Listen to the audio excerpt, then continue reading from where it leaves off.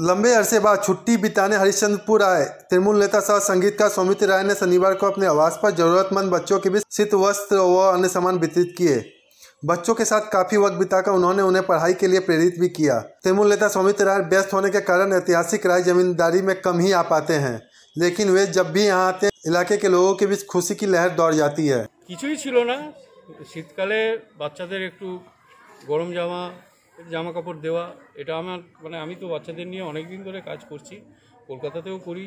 আমার কলকাতাতে ছিয়ানব্বইটা বাচ্চা আছে যাদের আমি হেল্প করি। পথ শিশু, অজস্র বাচ্চারা আছে তা, যাদের এবার কম্বল দিয়েছি, গরম জামা কাপড় দিয়েছি।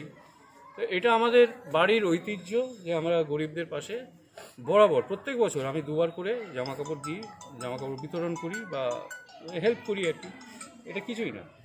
করোনাটা, এই ঝামেলাটা মিটে যাক, স্কুলটা শুরু হোক।